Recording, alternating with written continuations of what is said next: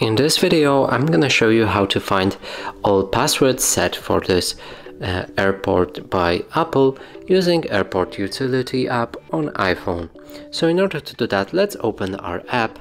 From here we'll need to select the device that we want to see all the passwords for and for me it's this one airport. Now you will need to enter the password probably if you didn't do it already uh, there will be option show password. Simply click on it enter the password and you'll be ready to go. Now click edit.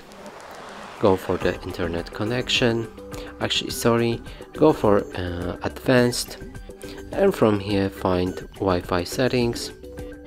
No sorry again. Uh, and from here go for the it should be somewhere here show passwords right there.